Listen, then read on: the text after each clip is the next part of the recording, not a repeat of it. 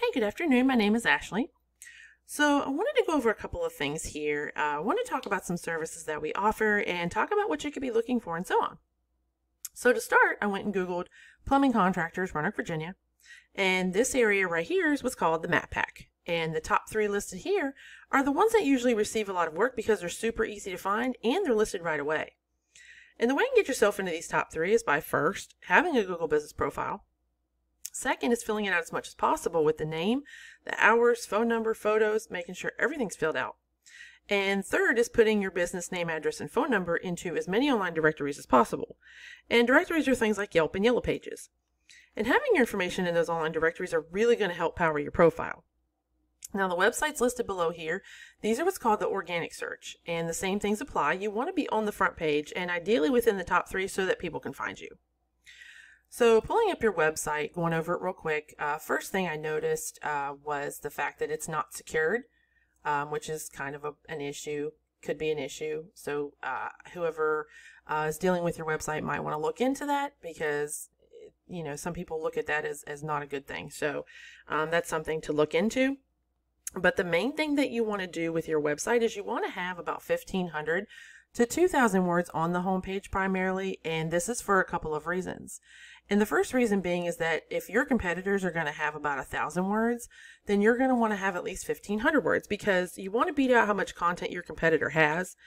And the second reason is that Google has what we call crawlers that go through, they read the content of the website and try and figure out what services your business offers, what areas you serve, and the more content that you have on the website, uh, the more of an expert you're going to look like in Google's eyes. And then within the content, you want to have keywords. And keywords are things that people are searching for. So, for example, how I Googled plumbing contractors, Roanoke, Virginia, if you have that all over your website, it's going to become really relevant for that search. And Google's going to be more willing to put your website higher to the top. Um, and so when you look at your website, it's really important to make sure there's enough content on here and the keywords throughout, and that'll really help this website rank. Um, so I want to take a look at one of the competitors in the area uh, just to compare. And I pay, have a paid program that we use, and I just kind of wanted to pull that up and show you. So I pulled up um, James Buck Plumbing and Heating. Uh, and real quick, wanted to go over a couple things. And the first thing I wanted to talk about was the UR and the DR ratings because these are super important where you fall in the Google search results.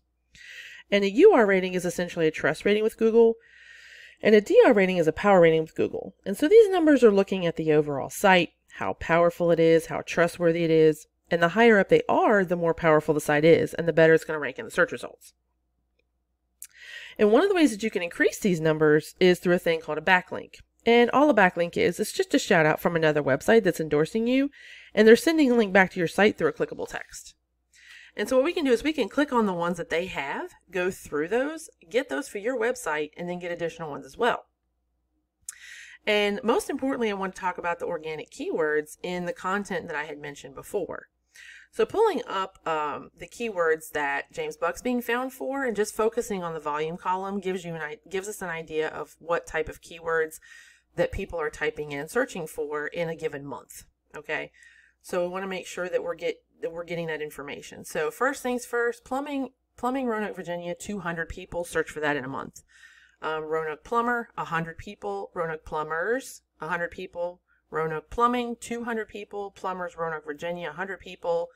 Um, so there's several opportunities for good keywords, um, but it's really important to get in front of these people.